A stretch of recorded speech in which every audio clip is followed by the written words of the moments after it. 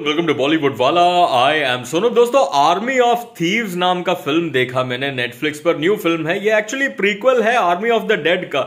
यार very very enjoyable film entertaining thrilling exciting fast paced heist है इसमें। मतलब यार, एक ग्रुप ऑफ़ पीपल जिसमें एक आदमी जो है, वो सेफ़ खोलने वाला एक आदमी है। वो और उसका जो बाकी टीममेट्स है, वो लोग बैंक के अंदर घुसता है। तो बैंक के अंदर किस तरह घुसता है? और बैंक के अंदर घुसने के बाद सेफ़ तक कैसे पहुँचता है? और सेफ़ तक पहुँचने के बाद ये जो सेफ़ कीपर है सेफ़ खुलने वाला, कैसे उस सेफ़ को खोलता है? क्या कुछ टेक्निक अपनाता है?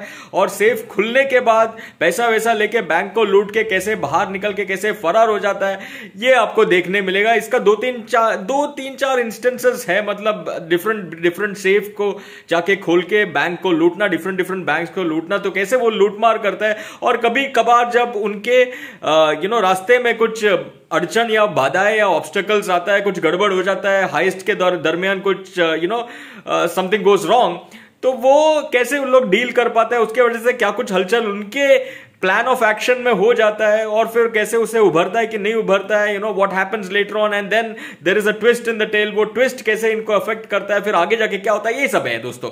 मतलब टोटल टाइम पास आप बोल सकते हो एंजॉयबल है एक्शन अच्छा है लोकेशन अच्छा है, वो सेफ़ का वगैरह जो डिज़ाइन दिखा है, वो भी अच्छा है। थोड़ा बहुत हल्का फुल्का जो वी है सेफ़ को लेकर वो भी अच्छा है।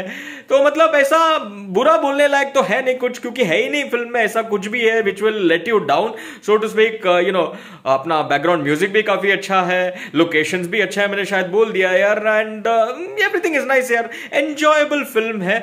ऐसा तोड़ फोड़ फ़िल्म नहीं है कि आप देखकर बोलेंगे माइंड ब्लास्ट हो गया यार मतलब यार खड़े रह के ताली मारने का मन किया, ऐसा तो आपको फीलिंग नहीं आएगा but at the same time it is quite enjoyable obviously not bad at all below average average average तो है ही नहीं, ऊपर ही है यार। तो देखो, मस्त में एंजॉय कर पाओगे, आप भी ऐसा कोई आलतू फालतू सीन्स भी नहीं है कि यार मतलब घबराहट होगी कि भाई फैमिली के साथ देख सकते हैं कि नहीं फैमिली के साथ बिल्कुल आप देख सकते हो एंजॉय भी कर सकते हो। एंड ऑफकोर्स आपको आर्मी ऑफ़ द डेड भी याद आ जाएगा क्योंकि उसमें जो लुडविग वही है इसमें मेन हीरो तो उसका जो बैक स्टोरी है कैसे चलता है क्या नहीं होता है वो सब काफ़ी एंजॉयबल तरीके से दिखा है। छोटा फ़िल्म में मतलब ऐसे ऐसे दौड़ेगा ड्यूरेशन के मामले में। एंड क्या एक्टिंग हो एक्टिंग सभी लोगों ने बहुत बढ़िया काम किया। वो लड़की ने भी काफ़ी अच्छा का, काम किया जो क्या उसका नाम है? मैनुअल समथिंग है उसका नाम। और जो बंदा है लुडविग मतलब यू नो उसका असली नाम थोड़ा डिफ़िकल्ट है प्रोनाउंस करने में, मेरे को याद भी नहीं है I don't even remember it but अच्छा काम किया उन्होंने। भी बाकी लोग, वो एक क्या ब्रैड केज नाम का एक आदमी यार, उसका स्क्रीन नेम ब्रैड केज है, वो भी काफ़ी बढ़िया काम किया यार। सभी लोगों ने अच्छा अच्छा काम किया यार। देखो टाइम पास है यार ऐसे सब फ़िल्म यार मतलब एक अच्छा खासा